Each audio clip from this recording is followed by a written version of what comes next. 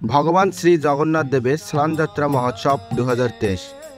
সুপ্রিয় ভক্তবৃন্দ, আপনারা যারা ভগবান শ্রী জগন্নাথ দেবের স্নানযাত্রা মহোৎসবে অংশগ্রহণ করতে পারেননি এবং ভগবান শ্রী জগন্নাথ দেবকে অভিষেক করতে পারেননি, তারা এই ভিডিওটির মাধ্যমে জগন্নাথ দেবের স্নানযাত্রা মহোৎসব দর্শন করুন এবং জগন্নাথ দেবের অশেষ কৃপা লাভ করুন। ভগবান শ্রী জগন্নাথ দেবের স্নানযাত্রা মহোৎসব বাংলাদেশের রাজধানী ঢাকা স্বামীবাগ ইস্কন মন্দিরে মহা আড়ম্বরভাবে পালিত হলো। শ্রী জগন্নাথ দেবের স্নানযাত্রা মহোৎসবে হাজারো ভক্তের সমাগমে পালিত হয়। জগন্নাথ দেবের স্নানযাত্রার পর পরেই ভগবান জগন্নাথ দেবকে অপূর্ব বেশে সাজানো হয়, সেটি হলো গজবেশ। সুপ্রিয় ভক্তবৃন্দ, আপনারা এখন দেখছেন ভগবান শ্রী জগন্নাথ দেব, তার বড় ভাই বলরাম ও সুভদ্রা মহারানীকে স্নানবেদিতে নিয়ে আসা হচ্ছে।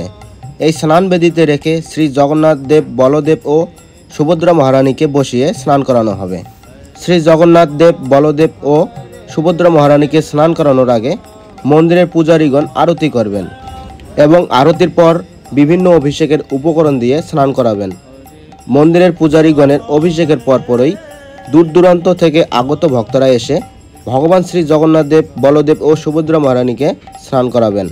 আপনারা যারা ভগবান শ্রী জগন্নাথ দেবের স্নান যাত্রায় আসতে পারেননি তারা দর্শনের মাধ্যমে ভগবান জগন্নাথ দেবের কৃপা লাভ করুন। শাস্ত্রে বর্ণিত রয়েছে, ভগবান শ্রী জগন্নাথ দেবের স্নান যাত্রা পর পরেই তিনি পনেরো দিন অসুস্থ লীলা করেন। কারণ ভগবান শ্রী জগন্নাথ দেব হচ্ছেন অত্যন্ত করুণার সাগর। সারা বছরেই ভক্তরা ভগবান শ্রী জগন্নাথ দেবের এই দিনটিকে কেন্দ্র করে সকলেই একসাথে একত্রিত হয়। শুধুমাত্র এই দিনই জগন্নাথ সকলকে কৃপা করার জন্য সকলের সম্মুখে আসেন এবং প্রত্যেকটি মানুষ ভগবানকে স্নান করাতে পারেন বা অভিষেক করাতে পারেন। তো ভগবানের এই অসুস্থ লীলার বিশেষ কারণ হচ্ছে যে ভক্তরা যখন অত্যন্ত তীব্র মাত্রা স্নান করান এবং সেই কারণে ভগবানের শরীরে অত্যন্ত ঠান্ডা লেগে যায়। আর সেই ঠান্ডাকে কেন্দ্র করে ভগবান পনেরো দিন ব্যাপী অসুস্থ লীলা করেন। সেই কারণে জগন্নাথের এই বিশেষ দর্শনটি হলো এক মহিমান্বিত দর্শন। তাই শুধু ভক্তবৃন্দ, এই ভিডিওটি আপনারা সকলের মাঝে শেয়ার করুন, যাতে সকলেই দর্শন করতে পারে ভগবানের শ্রীরূপ। শ্রী জগন্নাথ দেবের স্নানযাত্রা আরেক লীলা হলো শ্রী জগন্নাথ দেবের শুভ আবির্ভাব তিথি। ভগবান শ্রী জগন্নাথ সকলকে কৃপা করার জন্য জ্যৈষ্ঠ মাসের পূর্ণিমা তিথিতে আবির্ভূত হন। শাস্ত্রে বলা হয়েছে, জ্যৈষ্ঠ পূর্ণিমায় শ্রী হরি স্নানযাত্রা দর্শনের মাধ্যমে অনায়াসেই জীব মুক্তি লাভ করতে পারে। এমনকি কেউ যদি ভক্তি সহকারে একবারও স্নানযাত্রা মহোৎসব দর্শন করেন, তার সংসার বন্ধন থেকে মুক্তি লাভ হয়ে যায়। এজন্য তার আর শোক করতে হয় না। জৈমিনী মুনি স্নানযাত্রার মাহাত্ম বর্ণনা করতে গিয়ে বলেন, ভগবান পুরুষোত্তমের স্নানযাত্রা দর্শন করলে জীব তীর্থ স্নান করার থেকেও শতগুণ অধিক ফল প্রাপ্ত হয় এবং এতে কোনো সংশয় নেই। স্কন্দ পুরাণে জৈমিনী ঋষি আরও বর্ণনা করেছেন, যদি কেউ আন্তরিকতার সাথে স্নানকালে ভগবানকে ভক্তিভাব সহকারে দর্শন করে, তাদেরকে আর মাতৃগর্ভে বাস করতে হয় না। ভক্তিপূর্ণ হৃদয়ে স্নানযাত্রা দর্শন করলে জীবগণ ভবসাগর থেকে উদ্ধার লাভ করতে পারে। পরম আনন্দ সহকারে স্নানযাত্রা দর্শন করলে মানুষ আজন্ম যা পাপ করেছে তা বিনষ্ট হয়ে যায়। ভগবান শ্রী জগন্নাথ সকল ভক্তদের একত্রিত করে স্নানযাত্রা উৎসবের পর ভগবান যে অসুস্থ লীলা করেন, তারপর আবার ভক্তদের অপ্রাকৃত দর্শন দেওয়ার জন্য নেত্র উৎসব করা হয়। বা বলা হয়ে থাকে ভগবানের নতুন রূপ। ভগবান শ্রী জগন্নাথ দেবকে অসুস্থ লীলার মধ্যে অঙ্গরাগ করে নতুন রূপ দেওয়া হয়। ভগবান জগন্নাথ নতুন রূপে ভক্তদের অপ্রাকৃত দর্শনের মাধ্যমে ভক্তদের কৃপা করেন।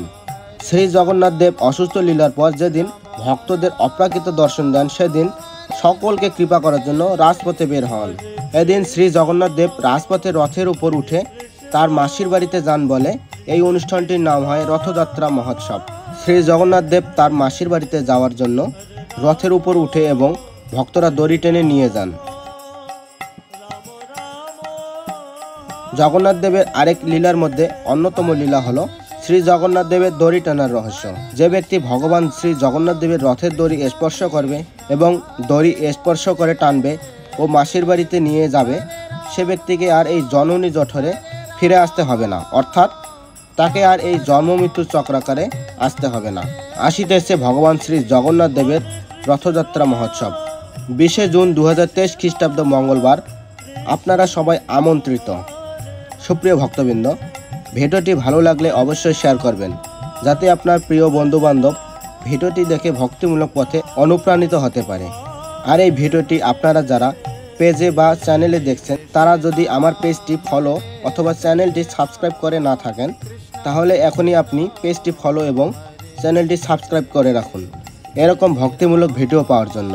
দেখা হবে অন্য আরেকটি ভক্তিমূলক ভিডিও নিয়ে। আজ এ পর্যন্তই। ধন্যবাদ।